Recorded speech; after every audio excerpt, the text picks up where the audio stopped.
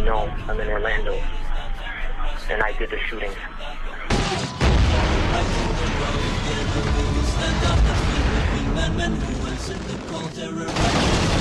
White supremacy movements are nothing new in this country. Are student protesters, some uh, anarchists? Twitter has can become a front line in the propaganda war. Hail Trump! Hail our people! Hail victory! For my brothers, come to jihad and feel the honor we are feeling, feel the happiness that we are feeling.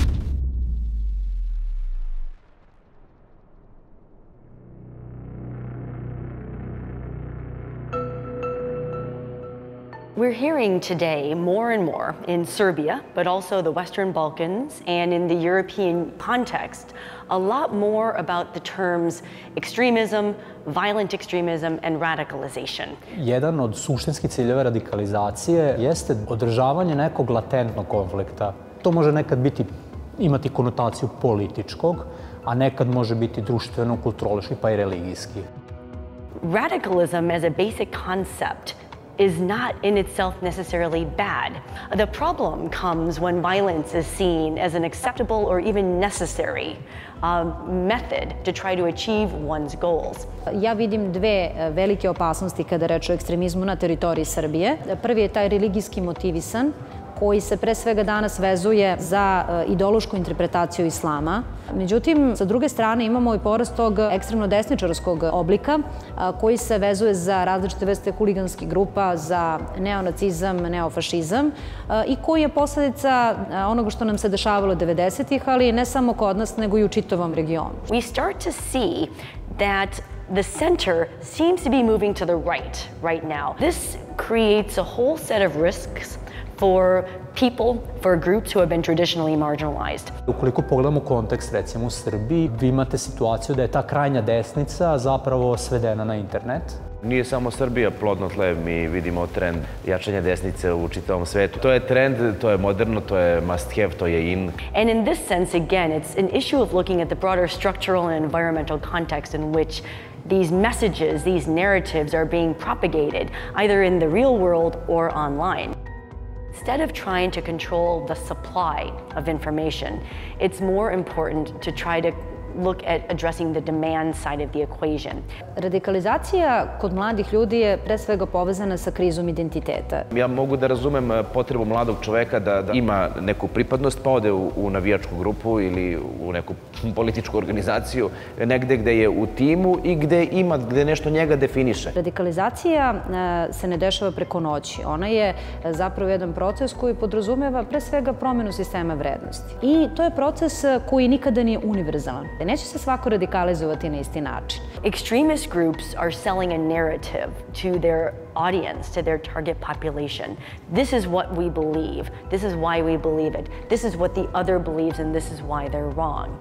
This is an issue of values, and whether or not extremist values of any flavor are going to be more appealing to and are going to be more effective at filling a void that some people feel. Experts increasingly agree that there is no one profile or definition of an individual at risk. To je nedostatak ponude, nedostatak sadržaja, nedostatak mogućnosti da shvatimo i vidimo da i može drugačije. An issue is more not just how much formal education someone has, but do they have the critical thinking skills, the analytical skills, to really be able to see that the world is not black and white.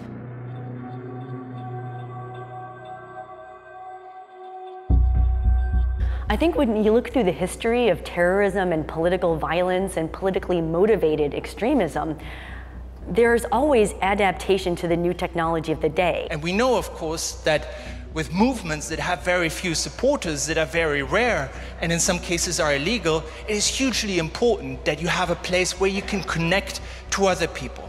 And I think it's this connective role that the internet and social media is playing, the most unique element that we're seeing in the 21st century right now. What extremists do online isn't fundamentally different from what the rest of us do online. The internet doesn't single handedly cause people to become extremists or terrorists.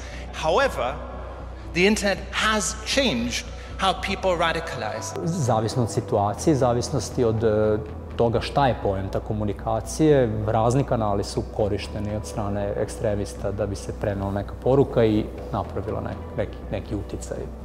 Whenever a new technology comes around or a new opportunity to promote their cause, they're using that opportunity.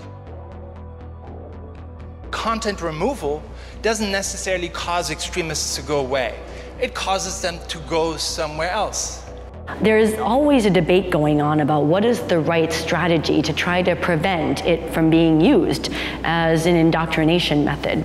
And when policymakers talk about censorship, they shouldn't delude themselves into thinking that taking stuff online will make it disappear. It may have a disruptive effect, but it doesn't solve the problem. That's a discussion societies need to have. Do people want to have an open internet the way the internet was conceived? Or do they want to put a wall around it and really limit it? Rather than focus on censorship, let's spend more time thinking about how to engage and challenge people online. The new word for that is counter speech.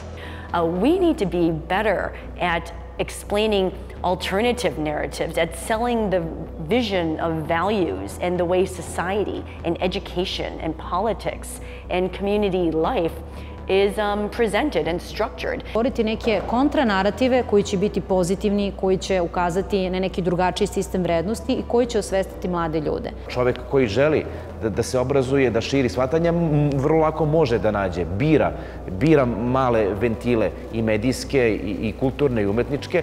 Is there strong civil society that can try to engage in dialogue? Do schools engage in helping to give young people critical thinking skills? Do government institutions have the strength and the trust and the resilience? Does the media have the trust of the people? And does the media have the objectivity and the fact-based investigative journalism techniques needed to serve the people? Ja mislim da je ključna stvar ono što je dugoročnog karaktera. Sa jedne strane jeste socijalizacija, a drugo jeste rad na medijskoj pismenosti digitalnoj, da se ljudi e, kroz neki formalni sistem suočavaju sa ovakvim stvarima i to je nešto što može na duže staze doneti rezultate. Očigledno moramo da se svako ponosom bavimo ovaj, i svojom okolinom i, i bliskim ljudima e, i da utičemo na njih, ne sad da promenimo e, njihove stavove, nego samo da im ponudimo, da ih, da ih e, obavestimo da postoji izbor. Zatucani roditelji, indoktrinirani reality programima, indoktrinirani žutom štampom, indoktrinirani glupom muzikom i ubeđeni u ono što im serviraju oficijalni mediji, rađaju divnu decu, spremnu da izrastu divne ljude i od njih prave kretene i zombije. Jadna deca, jadna deca i sram te roditelje. Edukacija roditelja. Edukacija roditelja da od svoje dragocene divne dece ne prave zombije kakvi su oni pristali da postanu jer im je tako lakše. Kraj.